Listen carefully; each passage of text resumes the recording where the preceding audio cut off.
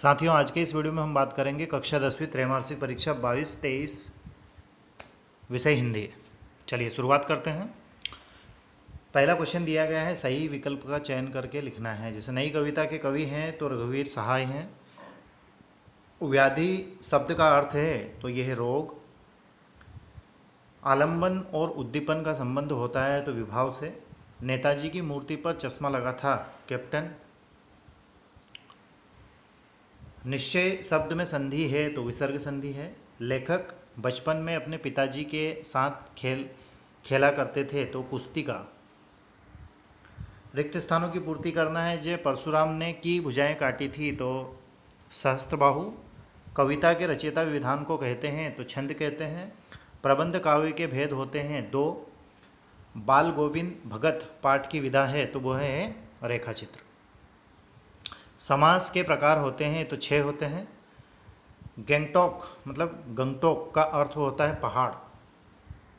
रिक्त स्थानों की पूर्ति करना है जे सूर के पद तो ये होगा भ्रमर गीत, काव्य की आत्मा, रस नगर पालिका का कार्य, सड़कें पक्की करवा देना, कमल का जादूगर तो इसका जो संबंध होगा, वो होगा राम वृक्ष, बोनीपुरी, आँखें चुराना का संबंध होगा नज़रें बचाना और देहाती दुनिया, इसका संबंध होगा पहला आंचलिक उपन्यास।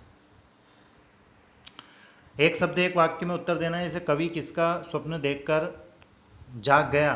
तो प्रेसी चौपाई के प्रत्येक चरण में कितनी मात्राएँ होती है? तो सोलह सोलह होती है और मुख एवं छाती के ऊपरी भाग की बनाई गई आकृति को क्या कहते हैं? तो उसको गला कहते हैं। मुहावरा क्या है? लिखिए। तो वाक्यांश या समूह को मुहावरा कहते हैं। संधि कितने प्रकार की होती है? तीन प्रकार की होती है।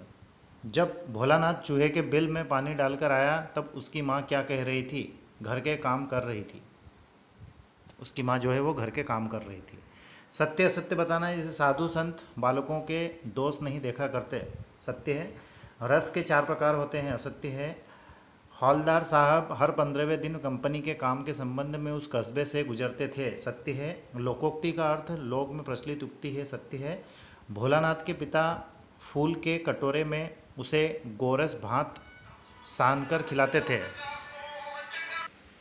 अगला है, रफ्ता रफ्ता का अर्थ रास्ता है तो ये असत्य है। आगे बढ़ते हैं। बाकी एक क्वेश्चन दिए गए थे क्वेश्चंस के आंसर आपको अच्छे से और भी याद कर लेना है। हालाँकि आपने सही आंसर लिखे होंगे, क्योंकि आपके अर्धवार्षिक और वार्षिक परीक्षा के दृष्टिकोण से भी यह पेपर आपके लिए महत्वपूर्ण है। तो ये सारे क्वेश्चन जो है वो इंपॉर्टेंट कैटेगरी में आप इनको ले सकते हैं। ठीक है दोस्तों thank you very much for watching and please take care of yourself thank you once again